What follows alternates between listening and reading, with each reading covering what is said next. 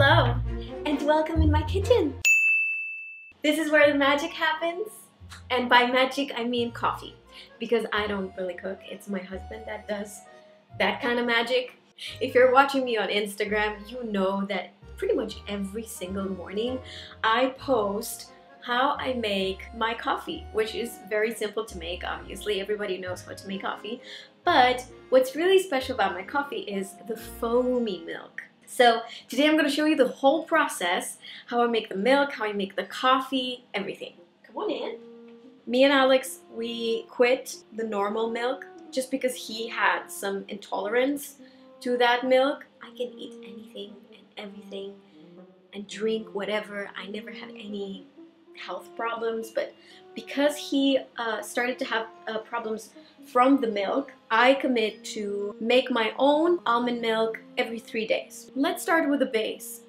What do you need to make almond milk? Obviously, almonds. Normally, you need 250 grams for one liter of water, but I like a very, very rich, very creamy almond milk. So I will use 300 or even 350 grams for the milk that I make. That is what gives the milk that creaminess, that, that richness. So I have 300 grams of almonds right here and I let them soak throughout the night, about 12 hours. You also need a date. You need a special type of date. In my opinion, this is what gives that sweetness to the milk. And then you also need a little bit of salt. So after I let the almonds soak into the water throughout the night, I'm going to rinse them. I've already rinsed them a few times uh, already in the morning, but, but I like to rinse them really, really well. I have already prepared my water right here.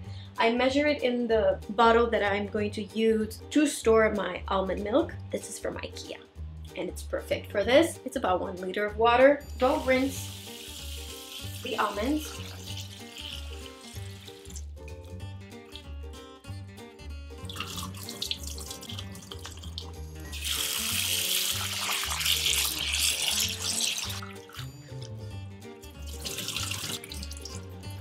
After I've rinsed my almonds, I'm going to put them in the blender because yes, you do need a blender for this. Cannot recommend the Vitamix enough. Like I love this guy, bought it last year during the quarantine and it has changed my life completely.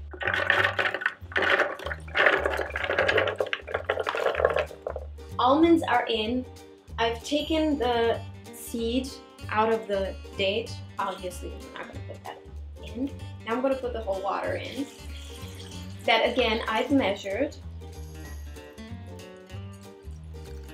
And also you need to put a little bit of salt and I do about two pinches. I am very specific about my salt. I love the salt flakes. Okay, we're gonna put the cap and I let it blend for one minute at maximum power.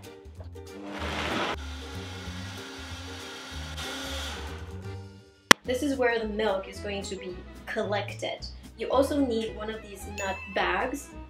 I got this from Amazon also last year during the quarantine and you don't absolutely need this particular bag or like a nut milk bag but is very useful because it's round. If it has like corners, when you're going to squeeze the milk, it's going to like be squeezed everywhere. This is really, really helpful, but I would say not necessary. And then everything happens in the sink because this is gonna get pretty dirty. I pour all this milk into this little bag you gotta make sure your hands are clean when you're doing this. And here's how you make almond milk. This is how much milk I've made and then yes I agree the, the sink it's kind of dirty it's kind of messy the whole process with the remaining of the almonds you can make you know raw cookies you could mix them with dates and like coconut flakes and a little bit of maple syrup or honey. Like you, you could do so many things with it.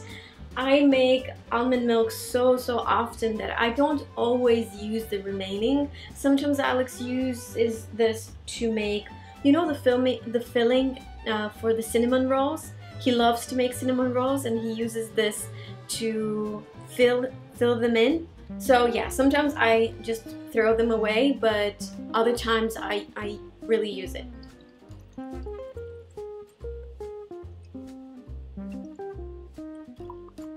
This is my delicious homemade almond milk. The hardest part is over.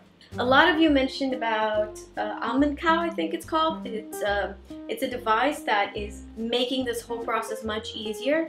But looking at a lot of reviews, and especially reviews from the people that you know I follow and trust, I have um, came to the conclusion that it will never be as creamy as when you do it with a very very strong blender because it it blends the the almonds like so so fine you could almost make flour with the remaining of the almonds it takes all the juice out of your almonds when you do it with a strong blender. That's why I didn't want to invest in the almond cow um, because I knew that at the end I would still use this. Let's proceed to the coffee. For my coffee we use this Nespresso. Is this Nespresso? This is Nespresso Maggi mix. But then I use the Illy coffee, my favorite. So, and then I prepare my milk. This is what I use. What brand? This is what I use to froth the milk. This is called Orendo. I got it from Amazon and I really don't think the brand is important because any frother should work. Can you come closer to show how much milk I, I put? I put enough milk to cover that thing that froths the milk. Let's put the milk in the fridge. So I store the milk obviously in the fridge and it's enough for three days. After three days, it's kind of it kind of turns bad. So I would say three three days is the maximum that you can keep your milk in the fridge. Now I'm going to froth the milk. And the first button is what froths it, but also warms the milk. The second button is to froth the milk cold. I froth my milk three times.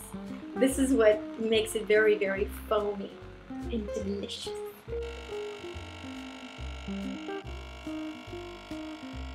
Coffee is about to be made.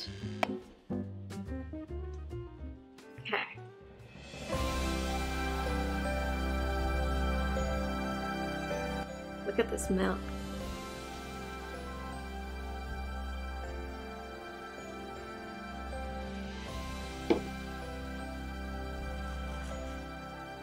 This is heaven on earth. I'm telling you, this is like delicious. Alright guys, this is how I make my delicious coffee. If you don't follow me on Instagram, you should because every morning I give you the coffee and a song because I'm crazy about music. Just like I'm crazy for makeup and beauty and just beautiful things in life. I love music, always will. So, uh, and I'm very passionate about discovering new artists and you know, new songs. So follow me definitely on Instagram for my morning coffee and my morning song. Hope you guys enjoyed this video. If you did, please give it a thumbs up if you haven't subscribed to this channel, please do, but you should know that this is not the content that I usually upload. I'm all about makeup. This is just a little exception. Thank you so much for watching, and I'll see you in my next one. Bye!